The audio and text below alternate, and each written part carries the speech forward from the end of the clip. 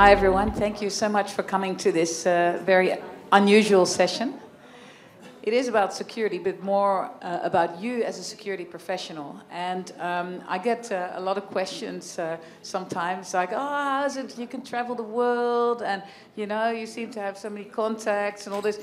Some people think everything sort of comes on a silver platter or something like you don't have to do anything for it, and that some people are born in a more lucky position than others. Um, I've learned along the way that that's possibly not the case, and especially everything is relative, right? So uh, it's all about what you do with the things that are uh, given to you or that are uh, coming to your way and that challenge you. And I've had my own share of challenge, uh, and I've managed to do something with it. Uh, I don't know if it's any good or bad, but it's just my thing. It's it's me. And I think that's what this session is really trying to hone into and to, to get into is if you're really clear on who you want to be who you are as a person, what you want to bring to the world, and also how you want to translate that into your work, people will feel it and they will come to you. And every person is having a unique combination of uh, skills, of values, of characteristics that nobody in this room has. And that alone should tell you something. Yeah? If you know what it is and you really want to use it, it's there for you. Everyone was born, born with a unique set. So that's what this session is uh, going to be all about. So um, there's uh, a couple of slides that I have, uh, and they're also going to be shared, as, uh, as far as I know, after the conference. And, uh, and those on uh, online, yeah, please take notes, just like we're doing here in this live room here in Paris. Um, what I'd like to, to start with is um, actually looking at apart from your own background, you can see all my stuff up there, you know, my things that I've studied, the ISO standards, and all of these things. Um, there's your skills, and that's one thing in the toolkit. You know, your personality is another thing in the toolkit. Uh, your gender, your background, your language set, they're all skills in your toolkit. And if you only focus on the skills and the certifications, you might be missing out on the rest of the opportunity. And so don't think that things are uh, in the way. See how they are on your way and how you can utilize them. So that's what this session is all about. Um, next slide, please. Um, there's a few slides here. You can see this one and also the next one. How you see that I have tried to uh, not be different in my work as a person than I am in life. And that's really, really important. I see quite a lot of people who really put on some sort of um, professional cloak or something they call it when they go to work and they transform themselves into some personality and when they come home, they oh they can finally relax, and then they need a holiday, you know, to get out of being that fake person or whatever. And um, it's possibly society that's driven that in people, um, but I'm challenging you and to go, am I doing that? Is that what's happening for me? Because I think for me personally, that's one of the very unsustainable things, and that's where I start feeling very unhealthy, you know, when I have to be someone that I really am not. So that's, I guess, the, the first uh, little lesson here. And they were, by the way, two of my elderly family members from Holland jumping around with the Maasai in Africa. And I combined my travels for work with pleasure. And sometimes people find that weird or whatever. And I introduce people to my business contacts sometimes if it feels right, you know? And it's all about, you know, tuning into, okay, does this feel like the situation is okay or not? There's not that many rules in the world, I've noticed. If you do it in the right context, you can get away with a lot, of, lot more things. And if you do it with a smile and with really being you, you can get away with even more. So that's the, the idea here. So, where do you see yourself in three to five years? Can you please? There's some notepads, I think, around in the, the physical conference. Uh, if you're at home, yeah, you can maybe grab a pen and a piece of paper. I challenge you to, uh, for the next two minutes, write down, a, write a picture, draw a picture, or write down a couple of bullet points on where you see yourself in three to five years. Now, you can maybe look um, vocationally where you see yourself, where you see yourself physically living, where you see your family going with that. Um, who do you want to be as a professional? What, what sort of people you want to work with? Any of those sorts of things. So please take a couple of minutes Close your eyes and look at the next three to five years. Where do you see yourself as a person? And maybe this is the first time you thought about that in a while. That tells you something too, right? So just have a little sense into that and feel in what do you see yourself to be doing. And this is all about your values, right? And, and if you think about, and this is what I ask every person that ever comes to work with me, I don't ask them, where's your certifications? Where's your PECB list? Where are your ISO certificates? I ask them, what gets you out of bed in the morning without external motivation? Stupid question, right? It's not a stupid question. If that person says, look, really, I want to take my dog for a walk and I want to be at my daughter's school at three o'clock in the afternoon, and that's my joy of my day. I, as, as their employer, I'm not going to design a job for them that gets them not into that mode at three o'clock, that keeps them out of the home for three, at three o'clock, and that gets them not to walk their dog because eventually they're going to choose what's in it for me. They're going to choose what really, what really inspires them. Yeah, so think about that for starters. What gets you up naturally in the morning that actually nobody has to set the alarm for? Like, you, nobody has to kick you out of bed for that. If it's something, whatever it is, in your personal life, in your professional life, start translating that into how can you do more of that and be handsomely paid for it. Not a weird question, right? But see how it fits with what you really want to be doing. Because if that's what you can be doing the rest of your life, it's going to come natural. Yeah, and you can be healthy physically and mentally and emotionally doing it, I think. All right, so hopefully you, wrote, you guys wrote down some, uh, some interesting notes there. Can we uh, get uh, the next slide? All right, so the first, um, I guess, tip number one, I guess uh, I, could, I could call it, is understand your own values and uh, really your own priorities, what is important to you, and your goals, and set your goals accordingly. If you set your goal, like I've done this before, right? when I was young, when I was young, I set goals like I want to go to the gym four times a week for 45 minutes each. As soon as I started writing it down, I actually already knew I was not going to actually be able to do it because I just don't like doing it, you know. And so, how far can you push something uphill? Not very far. So. Um, that's the reason for this, uh, for this slide or this little exercise. So, your first little exercise is the top seven shoulds and the top seven actual pastimes. So please write down quickly, whether it's on a digital thing or whether it's on a paper, write down the top seven things that you tell yourself should. For me, that was I should be doing more exercise. I should be seeing my family more. I should call them more. I haven't talked to my mother too uh, enough. I should call her more. I should be doing this and that and the other. I should be saving more money. I should be Write those things down, please. This is for you personally. Nobody's going to ask you about any of this after this exercise, okay? What are your seven shoulds?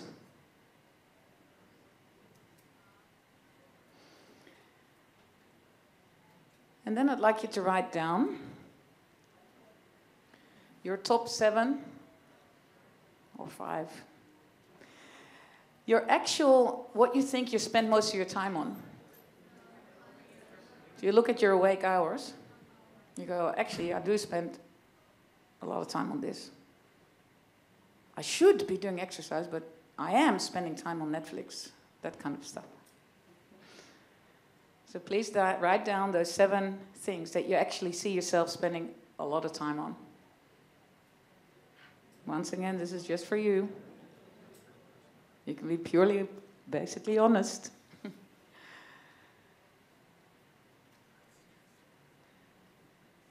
All right.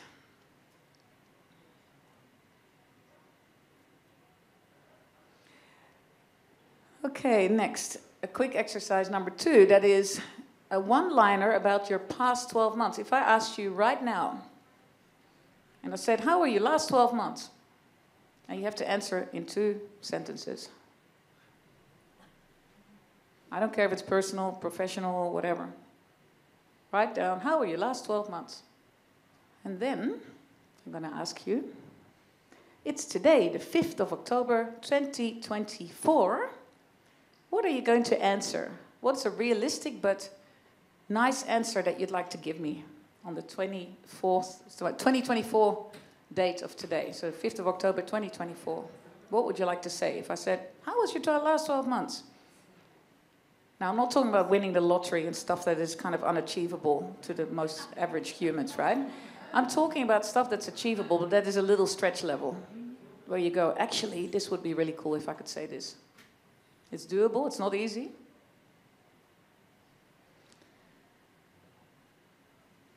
But you see that little line at the bottom no pain, no gain, right? Doesn't have to be easy. You see, I'm rolling quite quickly through this exercise, but this is something you can redo, of course, when you have more time. But I'd like you to still make a start today, right? All right, now, one little tip. Where you actually see those top seven shoots, who has at least three or four differences with the second bullet point, which is what you actually spend time on? Who has at least three or four differences there? Who says, I should be doing this, but I sort of should be doing that? I am actually doing that. Who has quite a few differences there? Yeah, quite a few. You have differences there. I can already tell you the shoulds and the what you spend time on ideally are exactly the same list. Because why do you otherwise spend time on those things? Because you should. Because you actually, they are you. Every day you make constantly choices, right, of what you're going to get out of bed for. If it's not the going to the gym, well, stop calling it a should. That's someone else's inject, you know, someone else's value. Or you, you know, living in the past or in the future or something you yourself, if you actually don't like the gym, you go, I'm not doing any, any fitness because that's not me. I just like a little chocolate lava cake. Oh my goodness, did anyone try those today? So your shoulds and your what you're actually doing need to be the same. I challenge you to get to that point in life. Because that's where you don't feel guilty anymore about what you're doing all day long. You're not injecting other people's values into your life. You're just doing the things you are actually believing that should be best for you. And the other one, that's interesting, right? It's actually um, the, who you want to be in 12 months' time. Do we actually think about this? Does anyone even ask? Ask? So do this every year, and you will be surprised how much actually you start kind of manifesting and attracting because you're starting. And, and I always thought that was nonsense, right? For herbal people, oh, manifestation, that doesn't exist. I actually have noticed that it does. As soon as you start filtering all the noise that comes your way all day long, because you're working towards that thing, the second last line there, it starts coming to you. You start removing the stuff that's not on the way, you know, that's in the way. So it, it kind of seems to work. Next slide. All right, next tip find your industry or specialization or personality, whatever it is, the color you have, the clothes you wear, whatever it is. Find the niche that you, who you are, actually, what makes you different. So I am female, I am Dutch, I am blonde, I say rude things, I just happen to not remember a lot of technical stuff. That's my set, you know, my weird set. For you, it might be something different. You might be a real gung ho, technical, focused person. You know, you love delving into the detail. I'm a generalist, you might be a specialist. What's your niche? What are you really uniquely good at? What do you see you're actually kind of weirdly better at than other people around you? And you're usually better at it because you love doing it. Yeah, so find that little niche. Could be industry, could be specific clients you like to work with. Some people love working with the not-for-profit profit sector, with small businesses, or with the big business, big end of town. That's uniquely you. Who do you feel you should be serving? What sort of clients you like to work with? If you're a consultant, you know, you like to help people from scratch to level one, or you like, you know, being intellectually challenged all day long with dealing with the, the, the clients that are very mature already. What geography? You saw some places that I've traveled with. I love new places, you know. Other people love being home because that's where the dog is. They want to work down the road. Done, you know. Nobody has to be different from who they want to be, right? And think about actually what can you give those clients or those organizations or people that you deal with. I've um, quite a lot of times have been plagiarized, right? Like I, I was presenting stuff, and then a week later I see some other person presenting the same slides I started getting really angry about that. Uh, and then I worked out to protect that stuff is pretty much impossible. And I started using it, feeling it, seeing it as flattery. I thanked the person and said, Oh, great you love my slides so much, you know? The person was like, What do you mean? you know? But, but you can see things in a different way. It's all your choice, how you see the stuff that comes your way, right? Some people then spend months of court cases and energy, and I just didn't find that a useful way of spending energy. But sharing things for free is actually one of the most amazing things to do, and we have so many networks where we can do that, right? And that's where people start seeing, hey, this person knows what they're talking about, but they're also a willing, giving person. And well, eventually people will come to you for more. I started training people thinking, oh, but then they don't need me anymore if I train them all to do this work, right? I actually found they called me more because the big projects came and they go, well, we now really need you. You're the trainer, right? You're almost by default, by getting up on that stage, like a lot of you guys do, you're already become twice as intelligent by the sheer, the sheer fact you're getting up there. Because people think, oh, you must know everything. You know? And I've also noticed if you really study the best three people that, that know something about a field, you study their work, their material, you can actually very quickly become super expert on something. Because nobody goes into that niche, right? That zooms into that particular area. So it's not that difficult to achieve. All right. Um, next slide. Mentors and trusted peers. I mean, finding people around us that we all do in this conference, for example, or in the, the PECB network, on the LinkedIn groups, of course. I've also noticed people tend to think, oh, I will, um, I'll put myself forward as a mentor because I'm being asked for that, right? First, be a mentee or a mentor before you do the opposite role. You need to know what it feels like at the receiving end. So I started actually mentoring first before I found the guts to actually ask someone else to be my mentor. Because before that, I actually thought I'll be a pain, a pain in the in the backside to that mentor, right? Like if I turn up there with my questions and stuff, they're busy people. But when I started mentoring someone else, I started seeing how much fun it was, and actually, ah, I felt a lot more confidence to then ask someone else. So you sometimes have, have to put yourself in opposite shoes to be able to do anything. And to sometimes the opposite shoes are actually easier to do. So, all right. Um, you can see here, so where, where to find, I mean, perfect strangers, of course, you know, uh, put yourself in, in the other person's shoes. We, we talked about that. Be someone who is fun to mentor. Think about what the other person is after. If they're after having a coffee at 3 o'clock in the afternoon of some days, go and do your mentor meetings then, you know. Don't be a, a, a difficult person. Next slide. Um, the tip number four is how to meet new customers. If you're a, a, consultant or trainer or a freelancer or something, it's always difficult, right? People go, how, how do I profile myself? Well, that guru status is really important. We talked about that. Delivering real value, but paying it forward. We talked about do it publicly, LinkedIn, etc., but also for that customer. I've done a lot of work for customers initially where they went, what, you're doing all of this? What is this costing me? I said, Oh, this part, take it, see if it works for you. If it doesn't, I actually don't think we should be working together. I don't actually, I don't need the project if it's not working for you, if I'm not the right consultant for you. But I've, I've got given already like a half a day or a day of worth of work to them, you know, in some way, because I wanted to find out, are we a good match? Does that make sense? A lot of people start charging from the first moment. It's like, well, then they can't test you. So sometimes you do it that way. And never get desperate. Yeah, never be that person who really needs that customer. I've had more positive feedback from people after I'd passed on projects to other people that I knew could do a better job than me at something. And I actually managed to do it pretty much most of the time without any of that commission type stuff or anything, because that feels a bit, I don't know, it doesn't feel quite right to me. I'm not saying it should be wrong to other people or anything. I'm just saying for me, if I pass a client on to another contact that I have, it actually feels right to me that they get the best out of that. And that it's purely because I think it's the best person for them. You know? And that's not 100% of the time maybe applicable, but you can often actually, yeah, you can apply it. You know, I've had contacts in this room even where I say, oh, actually, you should contact that person. I know they're the, they're the hero at it. Do that. clients will value it. And especially if you think it's not going to be something that makes you happy to do, eventually, yeah, it's not really what you want to end up doing. All right, um, next slide, please. Zeki.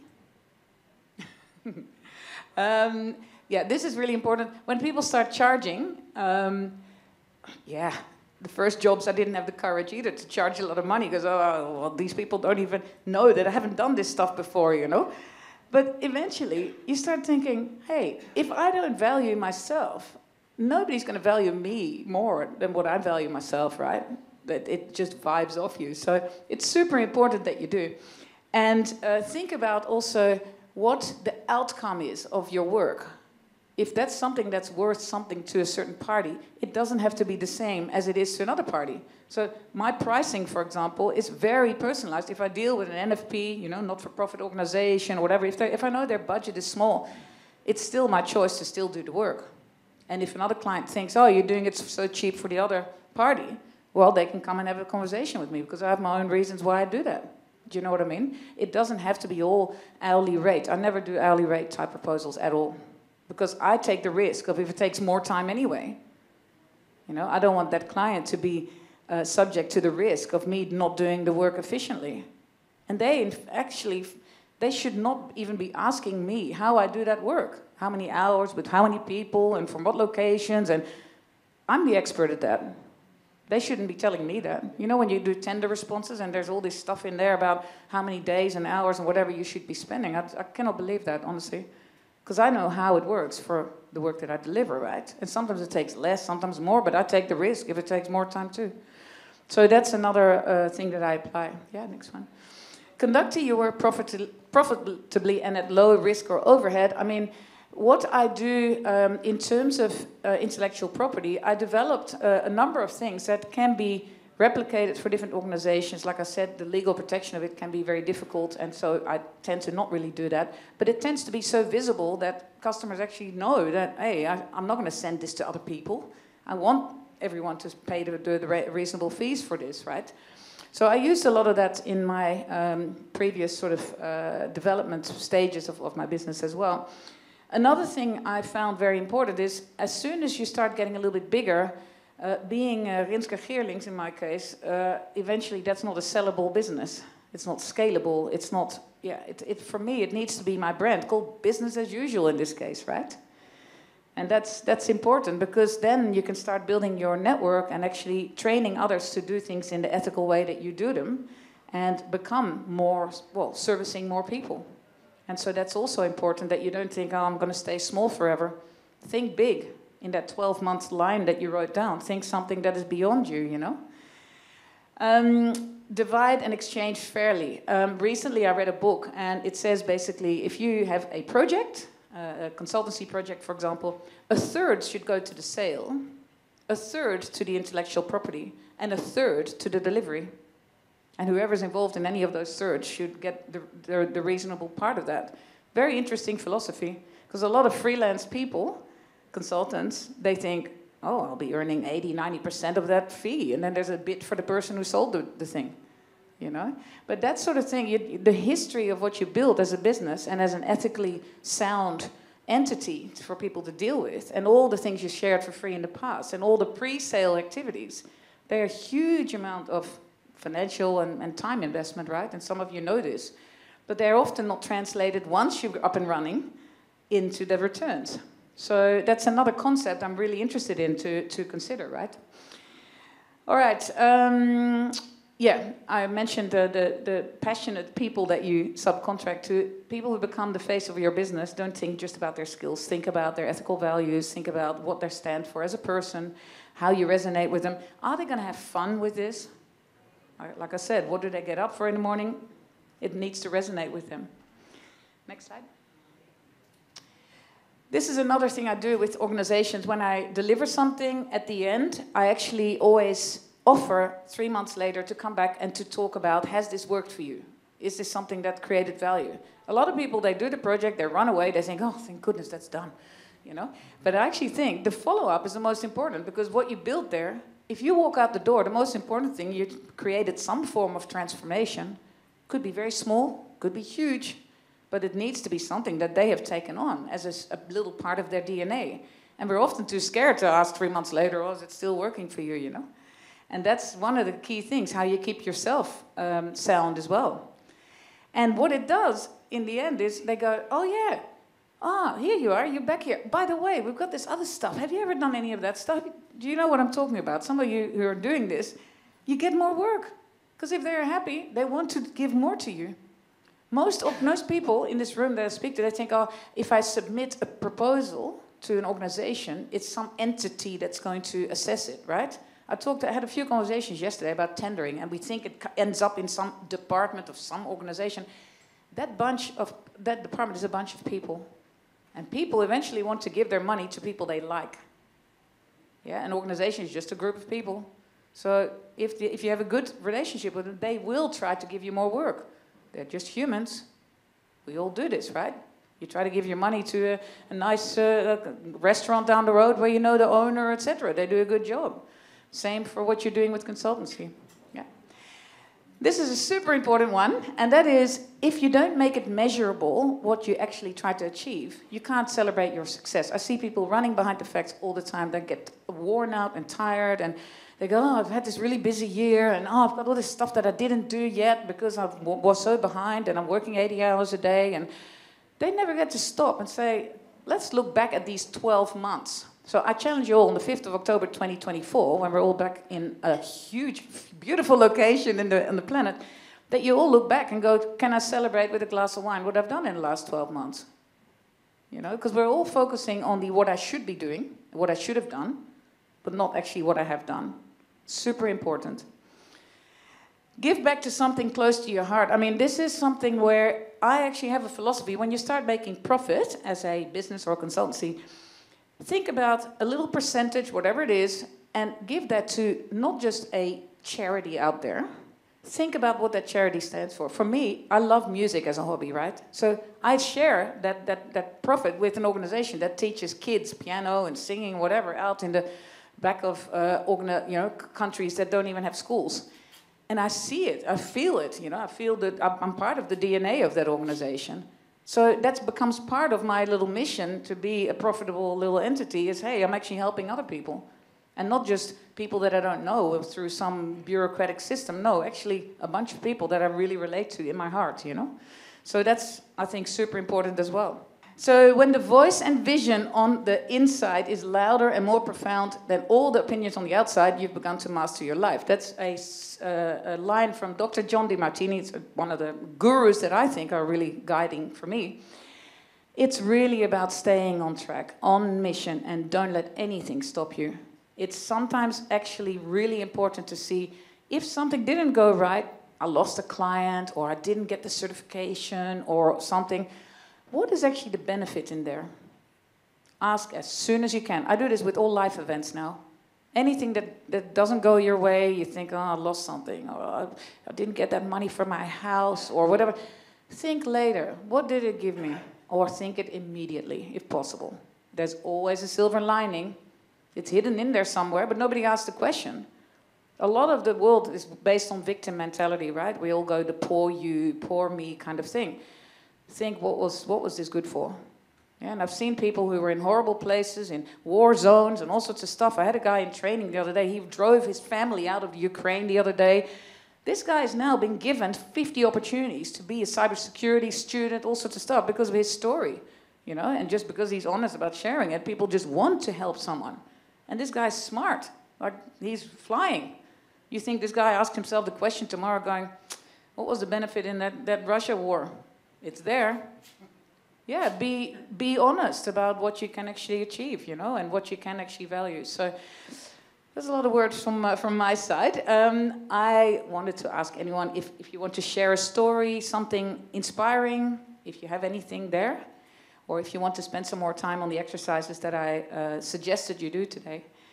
And otherwise, yeah, any other feedback or uh, or questions. Thanks. Michael?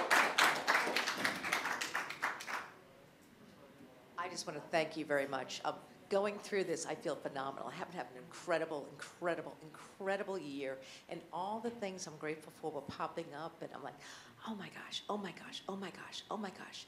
And I'm just sitting here saying, I have to thank her for helping me um, be so excited about my last year. It's been an absolutely dream. And I just want to thank you for helping me relive those moments. So thank you. Thank you so much, Michael. You're one of the people I was thinking about in my in my talk because I know how hard you work and I know how easy it is not to ask that question to say what did I actually achieve. Let me stop and smell the roses for a moment. It's true. Yeah. Well, there you go. Uh-huh, uh-huh. And, and do it. Make it a long list for that year, you know? What am I proud of? What, what did I achieve? The dimensions you can use are not just work, right? They're personal, they're, you know, spiritually, what did you get to? Physically, did you, you know, make changes? So, yeah, I, I love hearing this, yeah? I, uh, um, I, was very feeling that it was me speaking.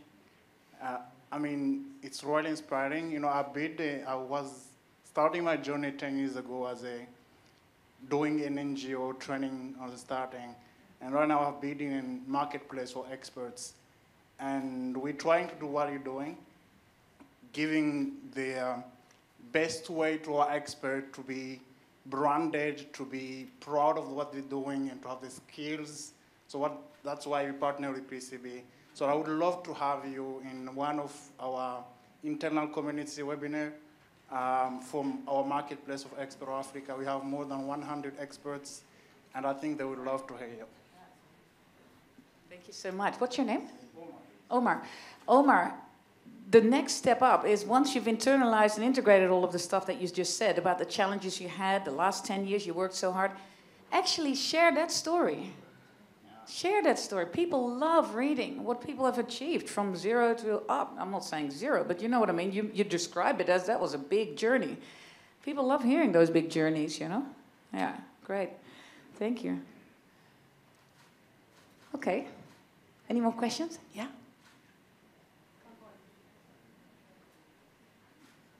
Um, one part that, that interested me was the tip on the seven and eight about the follow-up. I want to ask um, advice because of the demand with clients. I mean, you have um, targets. How do you manage the follow-up with new clients? And then second question is that um, is it nice to put a charge to it or give it as a, um, a, um, a bonus? Yeah, thank you. Yeah, um, look, I give it as a bonus because then clients, otherwise a customer goes, oh, look, that follow-up thing, we don't really need that. And then I lost the opportunity. So I added as a complimentary uh, follow-up session. And then it becomes completely expected for them to get that call three months later from me and saying, hey, how's it going? Shall we have a quick catch-up, you know, Zoom call or something? And so it's a, it's a natural thing that they will expect. Yeah, I, would, I don't charge for it because for that reason. I don't want them to say no thanks, you know? How manage the demand? How do you manage the demand? New clients and then ongoing clients? Yeah, yeah, big challenge. Uh, the type of work that I chose to do, the mix that I've created of the services that I provide, uh, all have some that are more urgent, typically for a client, and others that can usually wait for a client. So, for example, I do a lot of risk appetite workshops with boards and executives. Board meeting frequencies are usually once a six months, once every three months, once every 12 months. So typically that work has quite long lead times if I wanted to have long lead times. Does that make sense? Those things are more long term. I do some other work which is more instant, like, oh, we need a BCP rehearsal because of the regulator every year, we need to do it. I know when those you know, frequencies are, and I know that that creates more immediate pressure. So that's why I don't spend more of my scope of services than about maybe 20 or 30% on that work, because I know it creates too much stress, you know, on the same day, too many, too many questions and then the other work spread out a little bit. Does that sort of answer your question? Just think strategically about that. It's the same as small and big clients, right? Like dealing with big organizations seems like a dream, right? Oh, wow, we got this huge contract. Immediately ask the question, what's the downside in that? You remember I said, what's the flip side, the positive? Ask also, when you start getting elated about something, think, ah, what's the potential downside here? Let's, let's just get neutral here, right? Everything's neutral until someone judges it. If it's purely financial, you might think it's great, but dependency on one organization is not a good thing, you know, for 80% of your income. But also the pressure and the control they start getting over your internal processes could be huge. Depends on the customer. That's why I really pick those customers, and I often say no to that work if I don't really want that situation. Does that make sense? Yeah.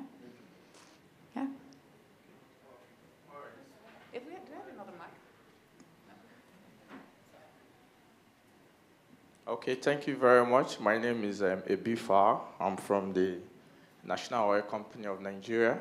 Um, I wanted to thank you because all what you just said was practically what um, my manager was discussing with me before I traveled down to Paris. Um, it was just about, I still want to tie it to a question. Um, last year, I worked very hard, gaining a lot of certifications and doing some process improvements in the company. Um, this year, I said, okay, let me get to relax because I finished a three months training um, in the UK and I wanted to relax. But uh, last week, he called me and said, uh, your profile is dropping, you know. So I just wanted to ask. I think it was part of celebrating success. Let me just relax and maybe come back better next, maybe in January and all that. So I just want to ask, like, after attaining a limit of success, at what point do you come and say, okay, let's do this again? Maybe from your own personal stories. I see you have gotten a lot of certifications and a lot of additions. Thank you. Thank you. Merci. Um, look, I think it's all um, a mix of different things that you do in life. Certific- I, I see people getting completely obsessed with certification.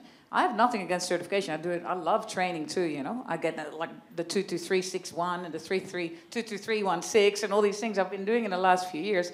But I'm also very mindful of the application of it in between is super important because integrating the actual knowledge with just theoretical kind of information is uh, not going to get you that far. Sometimes even gives you more confusions, you know, if you haven't really applied it.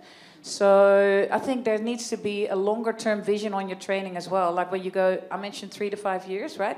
you go, hey, in the next three to five years, these are the kind of milestones I want to achieve. I might do foundation now for a couple of things. In three years, I might actually do lead implementer type things and actually find at least two projects to apply those things. And then I'll do the next level up, master, or whatever, you know. And that's why that skills uh, initiative is so important because it's continuous learning. The PECB skills um, site, you know, where there's snippets of 15 minutes to refresh your practical knowledge. I think it's a great idea because I see a lot of people really, uh, yeah, taking certification very serious, and it takes a long time to study sometimes. But yeah, does that take you away from the the practical application? You know, so hopefully that gives you a little guidance. Yeah. Okay. Any more questions? Sharings? I really invite you to take those questions again and, and write them in your own time a little bit more. So, just like what Michael's saying, actually writing down a long list of what, what have I actually achieved in the last 12 months? that question alone, you know, if that makes you feeling different about this day, um, yeah, please, please do it. Yeah. Oh, great to have all of you here, and uh, thanks PECB for organizing.